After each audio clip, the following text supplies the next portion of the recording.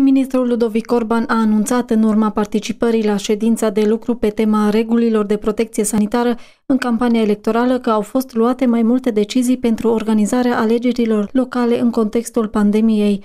Una dintre ele este achiziția de măști pentru secțiile de votare pentru a le fi date gratuit celor care merg să voteze fără mască. De asemenea, secțiile de votare vor fi dotate și cu substanțe dezinfectante. Bastanal de unde vă spun cât vom plăti pentru el o să plătim cel mai mic preț. Evident, ele vor fi achiziționate cu procedurile legale în uh, timp util, astfel încât uh, să poată fi la dispoziția cetățenilor care nu vin cu mască de acasă, că foarte mulți o să vină cu mască de acasă. Uh, vor fi asigurate măști pentru acei cetățeni care nu au uh, masca la ei uh, și li se uh, va pune la dispoziție masca și substanțele dezinfectante pe perioada exercitării dreptului de vot, deoarece dreptul de vot se exercită în spații închise, în uh, spațiile în care sunt organizate secțiile de votare.